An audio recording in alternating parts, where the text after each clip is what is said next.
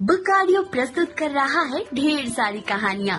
बच्चों बुकाडियो के बस्ते से एक बार फिर से निकली है जापान की प्यारी सी बच्ची तोतो चान की कहानी। पिछले भाग में आपने जाना समुद्र से और कुछ पहाड़ से खाने का मतलब क्या होता है है ना? हम्म तोतो चान का स्कूल वाकई बहुत अलग है। सब खा चुके हैं और अब सब बच्चे तैयारी कर रहे हैं सैर की। हम क्यों बैठे रहे? हम भी चलेंगे। खाना खा चुकने के बाद दूसरे बच्चों के साथ तोतो चाँद कुछ देर मैदान में खेलती रही। इसके बाद वह भी अपनी कक्षा में लौट आई, जहाँ शिक्षिका उनकी राह देख रही थी। बच्चों, तुम लोगों ने सुबह मन लगाकर अपना काम किया है, शिक्षिका ने कहा।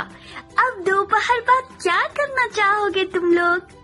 इसके पहले कि तोतो चाँद ये सोच भी पाती कि वह क्या करना चाहती है, बाकी बच्चे एक साथ बोले, सैर करेंगे।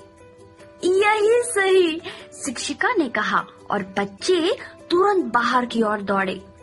तोतो चाँद डैडी और रॉकी के साथ तो सैर करने जाती थी, पर स्कूल से भी सैर करने जाते हैं। इस विचार से वह अपरिचित थी, उसे अचंभा हुआ। सैर करना उसे बेहद पसंद था। इसलिए वह बेसब्र भी होने लगी।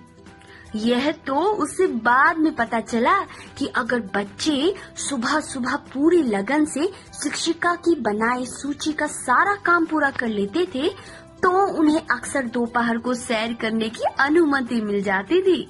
और यह नियम सब पर लागू होता था, चाहे वे पहली कक्षा के बच्चे हों या छठी के। वे सब स्कूल के दरवाजे से बाहर निकल आए। नौ के नौ बच्चे और उनके बीचों बीच उनकी शिक्षिका। वे एक नहर के किनारे किनारे चलने लगे। नहर के दोनों किनारों पर चेरी के पेड़ थे, जो हाल ही में फूलों से लदे थे, और उनके पार थे खेत, पीली सरसों से अटे हुए। दूर, जहाँ तक नज़र दौड़ती, हर तरफ़ पीले खेत ही खेत दिखते थे। नहर वर्षों पहले अदृश्य हो गई थी। अब वह स्थान आवासीय भवनों और बाज़ार से अटा पड़ा है। लेकिन उन दिनों जियोका ओका के अधिकांश क्षेत्र में खेत ही खेत थे। हम कोनो बुत्सु मंदिर तक जाएँगे? जिस लड़की की फ्रॉक पर खरगोश था, उसने कहा, उसका नाम था साको चाँद पता है, पिछली बार हमने तालाब के पास एक सौंप देखा था साकू चाँद ने कहा। मंदिर में एक पुराना कुआँ है, लोग कहते हैं उसमें एक तारा टूट कर आ गिरा था। चलते चलते बच्चे पता नहीं क्या क्या बातें कर रहे थे। आकाश का रंग उस समय गहरा नीला था और हवा में तितलियाँ पंख फड़फड़ा रही थी। जब बच्चे लगभग दस मिनट चल चुके तो शिक्षिका रुकी। कुछ खिले हुए पीले फूलों की तरफ़ इशारा करते हुए वे बोली जरा इन सरसों के फूलों को तो देखो। क्या तुम्हें पता है कि ये फूल भला खिलते कैसे हैं? तब वे फूलों की स्त्री केसर और पुंकेसर के बारे में बताने लगी। बच्चे उन्हें घेर कर बैठ गए। शिक्षिका ने बताया कि तितलियाँ फूलों के खिलने में मदद करती हैं। और सच में सभी तितलियाँ फूलों की सहायता करने में बेहद व्यस्त दिख रही थी। तब शिक्षिका आगे बढ़ी, बच्चों ने फूल देखना बंद किया और उठने लगे। इतने में किसी ने पूछा, ये पिस्तौल की तरह तो नहीं दिखते? क्यों? तो तो चाँद को भी नहीं लगा कि पिस्तौल जैसा कुछ भी फूल में हो। पर वह दूसरों की तरह इतना ज़रूर समझ गई कि स्त्री केसर और पुंकेसर महत्वपूर्ण चीज़ें हैं। दस मिनट और चलने पर वे एक बाग के पास पहुँचे। ये घना बाग कुहोनो बुत्सु के मंदिर के चारों ओर था। अंदर पहुँचते ही बच्चे इधर उधर चित्रा गए।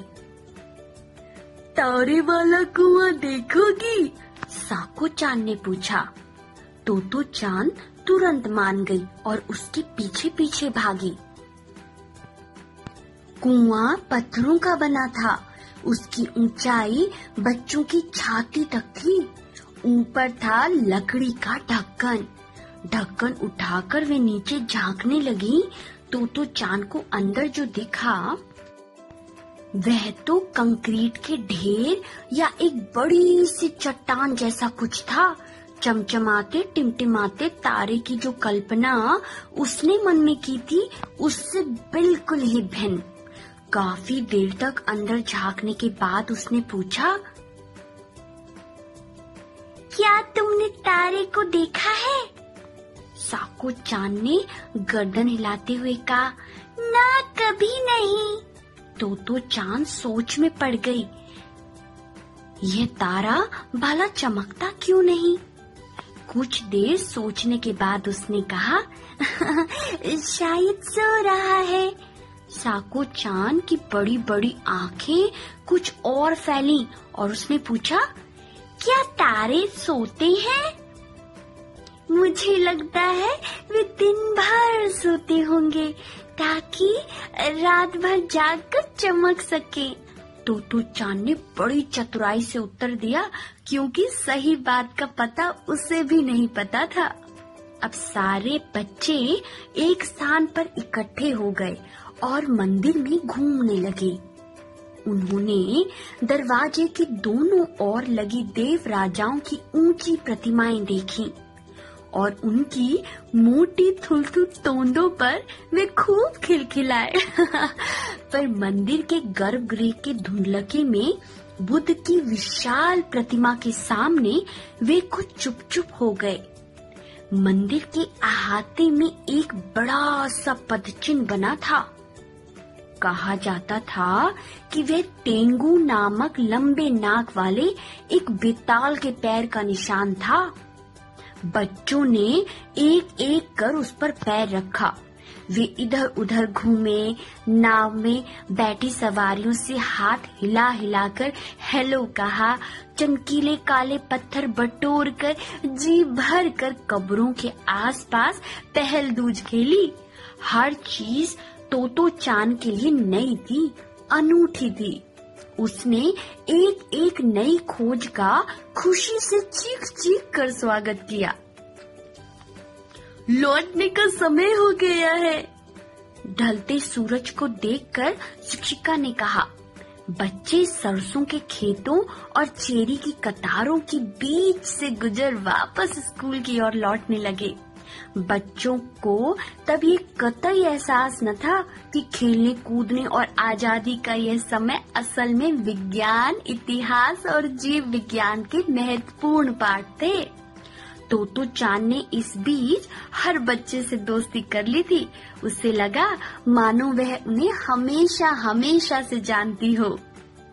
कल फिर घूमने चलेंगे, उसने अपने साथियों से लौटते समय चिल्ला कर कहा। हाँ ज़रूर चलेंगे। वे भी उछलते कूदते बोले, तितलियाँ, अब भी फूलों की मदद करने में व्यस्त थी और हवा में पक्षियों के कलरव की गूंज थी। तो तो चाँद की खुशी अंदर समा नहीं पा रही थी। तो कैसी लगी? मज़ा आया ना? हाँ यहाँ तो बच्चे खूब मज़े करते हैं और खेलते भी हैं। और हाँ सबसे ज़रूरी सीखते भी हैं। है ना कितनी बढ़िया बात? अगले भाग में जानेंगे तो तो चाँद के लिए और क्या क्या अचंभा है रेलगाड़ी वाले स्कूल में।